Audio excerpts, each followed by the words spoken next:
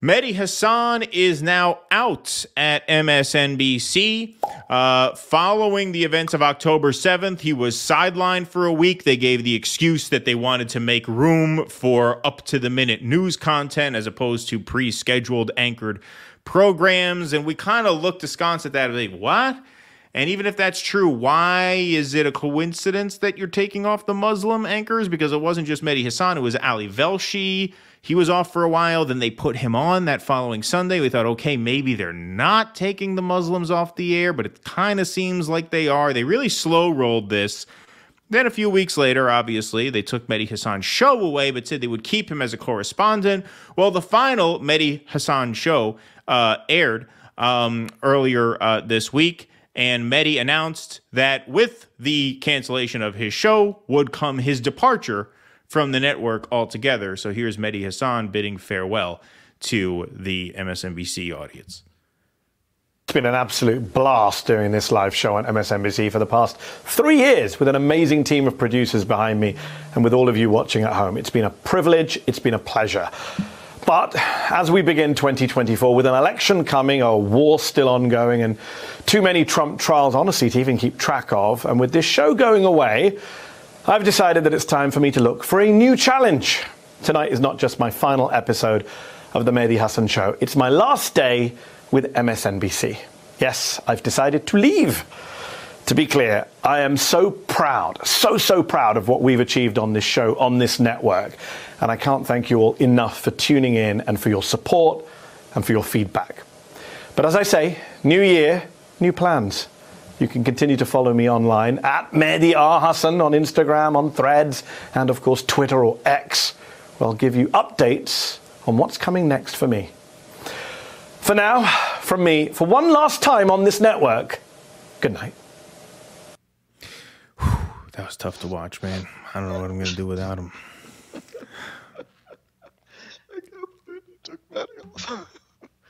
You know, you we should have done this one who feel last, that way. We should have done this one last because it's going to be hard to It's going to be emotional. pick ourselves up to get one. through the rest of this show. No, you know what? On the uh, on the video we did for Jimmy's, you do have some people in the comments there like, "He was a top-notch journalist.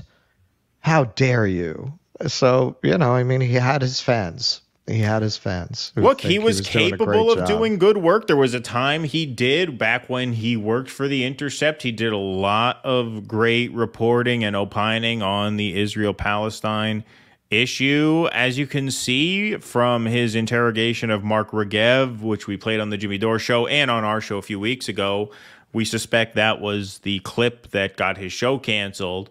Um, he's he has talent. He's capable of doing good work. But even on the way out of MSNBC, he has to say, with all the Trump trials coming up, it's a new mm-hmm. year of all these all these mm-hmm. Trump trials that what you wouldn't get to cover on MSNBC. That's all they're going to be talking about. He has to keep in good standing with the MSNBC audience because those are the libs who are going to follow him wherever he goes next. Yeah. a podcast or a YouTube show or He's- he's wherever. gonna- like he Yeah. can't even go out with dignity because he has to keep his audience with him. And the lib audience does not tolerate any kind of conflict. These are very conflict averse people right? If he had dignity he would tell them fuck you. You're obviously forcing me out because i am a pro-palestine voice on a neocon basically never trump republican network. Msnbc is barely even a liberal network at this point. It's a never trump republican network. We were going to cover that they sidelined the muslim anchors but we weren't really clear as to what exactly was going on. They did it in this Right, very confusing right, way. right. and um, you know, he can't just tell them to go fuck themselves because he needs to keep their audience on board for whatever his next gig is. At what point do you uh, like I don't understand as someone who sits in front of a laptop now and does this from my computer, a guy like Mehdi Hasan, even if he alienates 90% of his audience, he could still set up shop doing what we're doing and make 10 times what we're making tomorrow very easily. At what point do you have enough money to the point where you can just have a little spine and tell these people where to fucking go? They obviously ran you, you out of town what? for very cynical reasons. Like, what is with people that they just can't? What is it because they overextend themselves when they get rich and now they have three mortgages to pay and and five car Yep. payments or whatever? Yep. You know Yep. what I mean? Yeah. Yeah, I, I've, men- I, have mentioned this before. There was this woman. It was it was a delightful memoir. You've never heard of her. Her name is Julia Phillips, and she came up in old Hollywood, like you know, oldish Hollywood, seventies Hollywood, eighties Hollywood. Um, you know, came up as a successful producer from like publishing, and just kind of fell into it. Didn't set out to be in that business, um, and probably very much like Henry Hill had an interesting perspective on the mob because he wasn't of it, he wasn't right. from it um, she had a very interesting perspective on Hollywood. I never forgot that because she really painted this picture of, well, these people wind up spending all this money because everyone's looking at your status by what you have, where you live, what car you drive.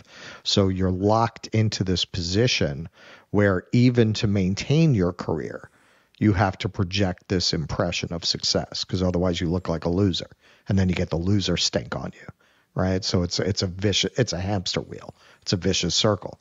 So Mehdi can't be walking around in no fucking you know Gap clothes. He's got to maintain those clothes if he wants to maintain his reputation. He wants to stay at his level of the game. But yeah, it's a trap because you lose your freedom that way. You know, like now you now your nut is millions of dollars.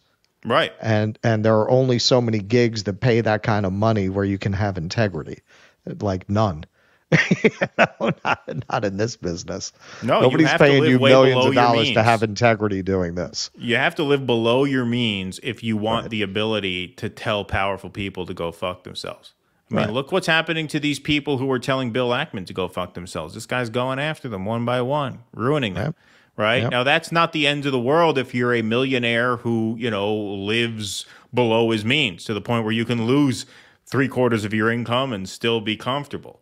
Uh, but I guess you get used to a certain lifestyle to the point where this all becomes very high stakes because, right. you know, I mean, this is, I mean, look, he has done some really despicable things. I thought the insinuations, I mean, look, as Matt Taibbi said when we interviewed him, all's fair in love and war. It's one thing you get the better of a guy in an interview. You're a hatchet man for the neoliberal, uh, you know, order and so Matt Taibbi steps out of line and it's your job to embarrass him. Okay, it's one thing to embarrass him.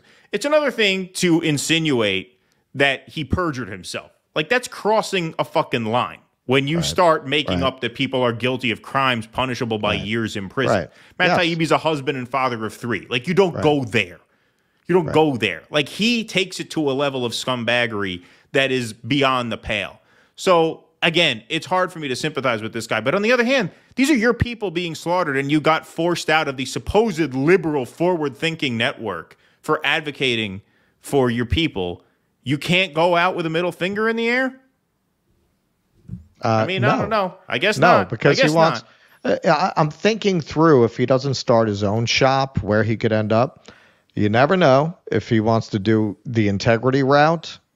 He could go back to Al Jazeera. I, I that wouldn't shock me if he went back to Al Jazeera. Um, he uh, talk TV is a very obvious place for him. He'd be like an improvement he, he, over that one lady, he Julia, whatever like her name is, Hartley. Yeah. no, yeah, I mean, he would he would be the like overtly pro Palestine Piers Morgan over there. Right. Yeah. Exactly. Exactly. Um, he would he would. Uh, uh I'll be surprised if he sets up his own shop. He doesn't seem like the type. I, no, I think, he's I always he's gonna, that's true. He's always been a career. Yeah, he's he's always worked the system, right? Yeah, I, I he'll he'll land someplace. He'll he'll he'll be fine. He's not going to make that MSNBC money. He'll never see that money again. But he'll he'll be fine. He'll be living a lot better than us. Indeed. Please clap.